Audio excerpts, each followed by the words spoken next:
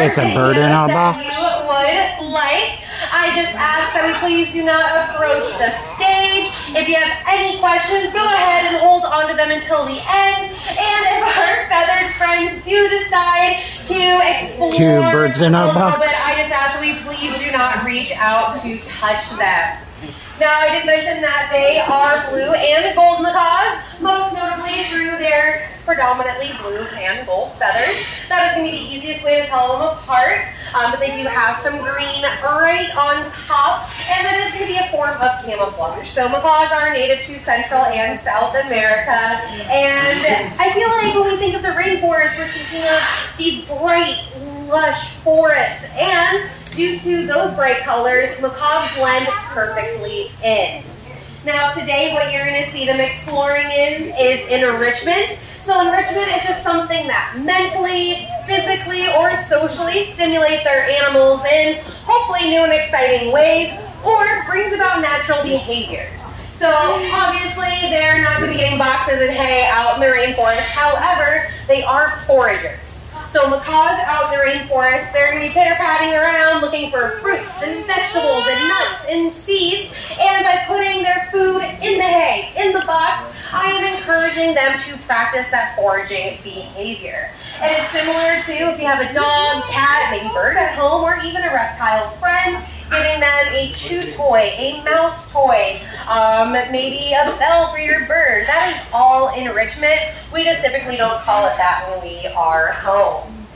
Now these three birds, they are part of a trio. Macaws, they will have bonded pairs, but these three have decided that they are better together in a group of three, and that is perfectly okay. We have Bailey, Capri, and Azul. So if they do come out from the other side of the box and you get a little bit better of a view of them, you might notice some differences here and there. It is pretty hard to tell our macaws apart from one another, and that's okay. It does take a while to learn that, and that's going to be important to make sure that we are knowing who we're building our bonds with and who we're training. And if anything medical were to arise, we need to be able to tell the right bird apart from the other so we can get them to our vet staff to get cared for. So if you do, hi, get a good look at them. This is going to be Mr. Bailey right here. That's going to be Azul peeking out, and then Capri still going to town in her enrichment. So Bailey has these really big, bold stripes on his face. Now they all have those stripes, but his are just really thick black stripes. Now Azul on the other side, again, hi, yeah. Again, he has those black stripes, but his are a little bit more feathered out. And then for Capri on the other side, she has to have really tiny nares. Nares are going to be essentially their nostrils, and hers just kind of look a little bit tighter than the others. There we go, Mr. Bailey. I'm going to go ahead and show him the enrichment real quick. There we go. Now, just like any other behavior enrichment, does need to be trained.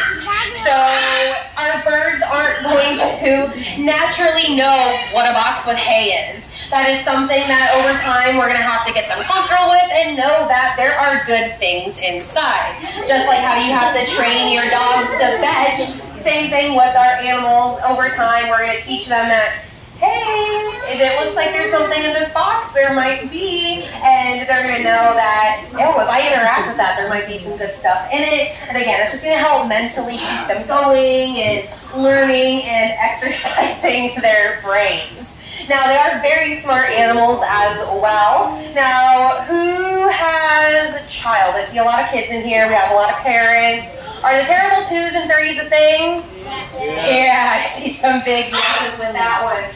Your kids are pretty clever, you know, they're pretty sneaky at that age. They're, you know, finding ways to make you tick. They're being really, you know, again, just smart about things. And macaws, they have the intelligence of a toddler for around 60 to 70 years.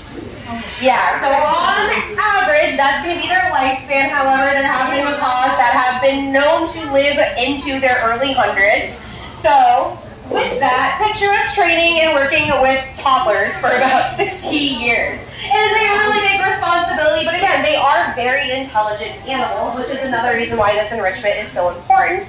But it's another reason why we always, always recommend if you're deciding to get a feathered friend to do that research. Because A, that is a lifelong commitment. And B, if you thought having one or two kids was a lot, imagine having a six-year-old toddler. Might not be the, you're like, oh, know, that sounds kind of fun. Now again, being from the rainforest, they do have their own role out there as well. They are known as, oh, very strong. They are dispersers. And that essentially means that they're pretty messy eaters. So macaws, they have really strong beaks. And what they're gonna do is they're gonna use those beaks to crack into nuts and what's going to happen as they're eating, they're going to be dropping a lot of that. So they're going to be dropping a lot of nuts and a lot of seeds, and that's going to give way to new plant life or animals that are on the forest floor can eat their scraps. It's creating an entire environment um, where others depend on them. So they're a very important part of that rainforest ecosystem. So we want to make sure that we're helping them out as best as we can. Now you don't have to fly all the way to South America, that is okay, because there are some pretty easy ways to help them out right here at home. And the easiest way is to just be a smart shopper. So you might not realize that things that you're getting in your everyday lives come from the rainforest, because who likes chocolate?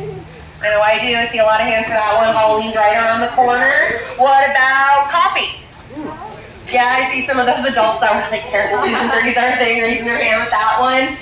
Um, let's see how many hands I get for toilet paper. Less than I got for chocolate. We're gonna stay away from that side of the feeder. What about shampoo and conditioner? Yeah, same thing for that one. Now, with that, all of those items have the potential to come from a rainforest. So what you're going to want to do is go ahead and just pay attention when you're buying things. Um, so with that, you know, there's going to be a little green tree frog on the back of those products that just symbolizes that they are Rainforest Alliance certified they did not take away from any homes that animals like the free, or as we'll call homes. Now, they obviously said, hey, we're done with our enrichment, and that's okay. Our birds always, always, always have the choice to participate in those sessions or not. So we're to go ahead, we're going to wrap up. If you have any questions at all, absolutely feel free to ask. We're going to see if they want to come down again, but if not, we're going to go ahead and bring them home. But thank you everybody so, so much, and have a fantastic rest of your day.